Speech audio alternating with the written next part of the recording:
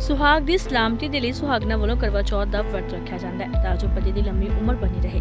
ਅਜਿਹੇ 'ਚ ਤਰਨਤਾਰਨ ਦੇ ਪਿੰਡ ਠੱਠੀ ਖਾੜ ਦੀ 54 ਸਾਲਾ ਹਰਜੀਤ ਕੌਰ ਸ਼ਾਇਦ ਇੱਕ ਅਜਿਹੀ ਪਤਨੀ ਹੋਵੇਗੀ ਜੋ ਕਿ ਆਪਣੇ ਸੁਹਾਗ ਦੀ ਸਲਾਮਤੀ ਦੇ ਲਈ ਰੋਜ਼ਾਨਾ 20 ਕਿਲੋਮੀਟਰ ਰਿਕਸ਼ਾ ਪੈਦਲ ਖਿੱਚਦੀ ਹੈ। ਤੇ ਰਿਕਸ਼ੇ ਤੇ ਲੇਟਿਆ ਹੁੰਦਾ ਉਸ ਦਾ ਬਿਮਾਰ ਪਤੀ ਜੀ ਹਾਂ ਉਸੇ ਕਹਿਣਾ ਹੈ ਕਿ ਉਸ ਤੋਂ ਆਪਣਾ ਪਤੀ ਧਰਮ ਪੂਰਾ ਕਰਨ ਦੇ ਲਈ ਕੁਝ ਵੀ ਕਰਨਾ ਪਵੇ ਤਾਂ ਉਹ ਕਰੇਗੀ। ਪਰ ਚਿੰਤਾ ਹੈ ਤਾਂ ਉਸਦੇ ਪਤੀ ਸਰਜੀਤ ਦੀ, ਜੋ ਕਿ ਆਪਣੇ ਪੈਰਾਂ ਤੇ ਖੜਾ ਵੀ ਨਹੀਂ ਹੋ ਸਕਦਾ।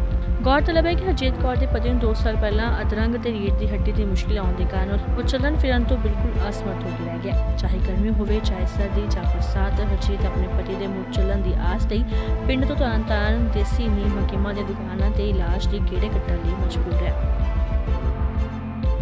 ਮਰਜ਼ੀ ਨਾਲ ਸਾਨੂੰ ਘਰੋਂ ਬਾਹਰ ਕੱਢ ਦਿੱਤਾ ਵਾ, ਜੇ ਅਸੀਂ ਘਰੇ ਜਾਂਦੇ ਆ ਸਾਨੂੰ ਬੋਲ ਮਾਰਦੀ ਵੋਟੀ ਵੀ ਮਾਰਦੀ, ਆਪ ਵੀ ਝਿੜਕਾ ਬੜੀ ਮਾਰਦੀਆਂ। ਅਸੀਂ ਪੇਕੇ ਘਰ ਮੈਂ ਆ ਗਈ ਮੇਰੇ ਘਰ ਵਾਲੇ ਨੂੰ ਪੈਰਾਲਾਈਸ ਹੈ ਇਸ ਕਰਕੇ ਉਹਦੇ ਨਾਲ ਰੀੜ ਦੀ ਹੱਡੀ ਵੀ ਜਿਹੜੀ ਆ, ਉਹ ਵੀ ਮਤਲਬ ਕਿ ਮਣਕਾ ਗਾਹ ਹੋਇਆ ਵਾ। ਤੁਰ ਨਹੀਂ ਸਕਦੇ, ਨਾ ਬਹਿ ਸਕਦੇ, ਨਾ ਰੋਟੀ ਖਾ ਸਕਦੇ ਬਹਿ ਕੇ। ਸਾਨੂੰ ਉਹ ਤੱਕੇ ਮਾਰਦਾ, ਨਾ ਸਾਨੂੰ ਉਹ ਖਰਚਾ ਦਿੰਦਾ ਨਾ ਆਟਾ, ਨਾ ਦਾਣਾ, ਕੁਛ ਨਹੀਂ ਹੈਗਾ ਮੇਰੇ ਕੋਲ। ਮੈਂ ਤੇ ਭਿਖਾਰੀ ਵਾਂਗੂ ਮੰਗਣ ਵਾਲਾ ਹਿਸਾਬ ਹੋ ਗਿਆ ਮੇਰਾ।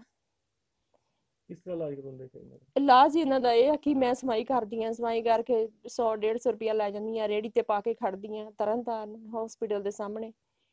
ਉੱਥੇ ਮੁੜ ਕੇ ਮਾਲਚ ਵਾਲਾ ਹੈ ਮਾਲਚ ਕਰ ਦਿੰਦਾ ਪੱਟੀ ਕਰਾ ਕੇ ਇੱਕ ਦਿਨ ਛੱਡ ਕੇ ਦੂਜੇ ਦਿਨ ਮੈਂ ਫੇਰ ਜਾਂਦੀ ਆ ਪੱਟੀ ਵਾਲਾ ਸਾਰੇ ਮੇਰੇ ਕੋਲ 150 200 ਰੁਪਇਆ ਲੈ ਲੈਂਦਾ ਵਾ ਕਿਸੇ ਵੇਲੇ ਲੈਂਦਾ ਵੀ ਨਹੀਂ ਵਿਚਾਰਾ ਇੰਨਾ ਭਲਾ ਮਾਨਸ ਹੈ। ਕਿਸ ਤਰ੍ਹਾਂ ਗੁਜ਼ਾਰਾ ਚੱਲਦਾ ਗੁਜ਼ਾਰਾ ਇਸ ਤਰ੍ਹਾਂ ਹੀ ਆ ਭਾਜੀ ਨਾਲੋਂ ਨਾਲ ਹੀ ਚੱਲਦਾ ਵਾ। ਕਿਸੇ ਵੇਲੇ 10 ਰੁਪਏ ਦੀ ਖੰਡ ਲੈ ਆਉਂਦੀ ਆ 20 20 ਰੁਪਏ ਦੀ ਲੈ ਆਉਂਦੀ ਆ ਇਸੇ ਤਰ੍ਹਾਂ ਹੀ ਆ। ਰੋਟੀ ਕਿਸੇ ਦੀ ਰੋਟੀ ਵੀ ਨਸੀਬ ਹੁੰਦੀ ਕਿ ਨਹੀਂ ਹੁੰਦੀ? ਕਿ ਨਹੀਂ ਹੁੰਦੀ। ਰੋਟੀ ਵੀ ਨਹੀਂ ਨਸੀਬ ਹੁੰਦੀ। ਕਿਸੇ ਵੇਲੇ ਚੌਲ ਖਾ ਕੇ ਹੀ ਗੁਜ਼ਾਰਾ ਕਰਨਾ ਪੈਂਦਾ ਕਿਸੇ ਵੇਲੇ ਉਸ ਉਧਰ ਜਦੋਂ ਤਰਨਤਾਰਨ ਦੇ ਐਸਡੀਐਮ ਸੁਰਿੰਦਰ ਸਿੰਘ ਦੇ ਨਾਲ ਗੱਲਬਾਤ ਕੀਤੀ ਗਈ ਤਾਂ ਉਹਨਾਂ ਕਿਹਾ ਕਿ ਪੀੜਤ ਪਰਿਵਾਰ ਨੂੰ ਸਰਕਾਰ ਵੱਲੋਂ ਦਿੱਤੇ ਜਾਣ ਵਾਲੀਆਂ ਸਹੂਲਤਾਂ ਤੇ ਉਹਨਾਂ ਦੇ ਇਲਾਜ ਨੂੰ ਯਕੀਨੀ ਬਣਾਉਣਗੇ। ਮਾਮਲਾ ਧਿਆਨ ਚ ਆਇਆ ਹੈਗਾ, ਇਹਦੇ ਵਿੱਚ ਜਿਹੜਾ ਹੈਗਾ ਜੇ ਕੋਈ ਗਰੀਬ ਔਰਤ ਹੈਗੀ ਹੈ, ਉਹਨਾਂ ਦਾ ਪਰਿਵਾਰ ਹੈਗਾ, ਉਹਨਾਂ ਨੂੰ ਜਿਹੜਾ ਪੂਰੀ ਜਿਹੜੀ ਸਹਾਇਤਾ ਦਿੱਤੀ ਜਾਏਗੀ।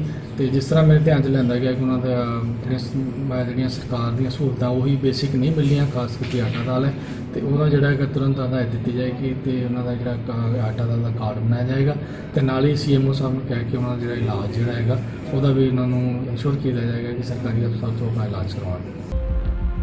ਹਰਜੀਤ ਦੀ ਸ਼ਾਦੀशुदा ਇਕਲੌਤੇ ਬੇਟੇ ਤੇ ਬਹੂ ਨੇ ਵੀ ਬੇਵਸ ਮਾਂ ਤੇ ਬਾਪ ਨੂੰ ਘਰ ਤੋਂ ਬਾਹਰ ਕੱਢ ਦਿੱਤਾ ਹੈ। ਹਰਜੀਤ ਕੌਰ ਨੇ ਪਤਨੀ ਦਾ ਧਰਮ ਫਰਜ਼ ਨਿਭਾਉਂਦਿਆਂ ਹੋਇਆਂ ਅਜਿਹੀ ਮਿਸਾਲ ਕਾਇਮ ਕੀਤੀ ਹੈ ਕਿ ਜੋ ਸਮੇਂ ਦੀ ਸਰਕਾਰ ਤੇ ਸਿਹਤ ਵਿਭਾਗ ਦੇ ਮੂੰਹ ਤੇ ਕਿਸੇ ਥੱਪੜ ਤੋਂ ਘੱਟ ਨਹੀਂ ਹੈ। ਪੀੜਤ ਹਰਜੀਤ ਕੌਰ ਨੇ ਸਰਕਾਰ ਤੇ ਸਮਾਜ ਸੇਵੀ ਸੰਸਥਾਵਾਂ ਅੱਗੇ ਆਪਣੇ ਪਤੀ ਦੇ ਉਚਿਤ ਇਲਾਜ ਦੇ ਲਈ ਮਦਦ ਦੀ ਗੁਹਾਰ ਲਗਾਈ ਹੈ। ਗੋਇੰਦਵਾਲ ਤੋਂ ਸ਼ੇਰੂ ਮਹਾਜਨ ਦੀ report, daily post, Punjabi. Sat Shri Akal. ਜੇ ਤੁਸੀਂ ਕੈਨੇਡਾ ਸਟੂਡੈਂਟ ਵੀਜ਼ੇ ਤੇ ਜਾਣਾ ਚਾਹੁੰਦੇ ਹੋ, ਤੇ ਜਨਵਰੀ 2020 ਦੇ ਦਾਖਲੇ ਖੁੱਲ ਚੁੱਕੇ ਹਨ। You know SDS non SDS university ਪ੍ਰਣਾਲੀ ਦੇ ਅੰਦਰ ਤੁਸੀਂ ਜਨਵਰੀ ਸੈਸ਼ਨ ਦੇ ਲਈ ਦਾਖਲਾ ਲੈ ਕੇ ਟਾਈਮ ਸਿਰ ਆਪਣਾ ਵੀਜ਼ਾ ਫਾਈਲ ਕਰ ਸਕਦੇ ਹੋ ਔਰ ਕੈਨੇਡਾ ਜਾਣ ਦੇ ਆਪਣੇ ਸੁਪਨੇ ਨੂੰ ਸਾਕਾਰ ਕਰ ਸਕਦੇ ਹੋ।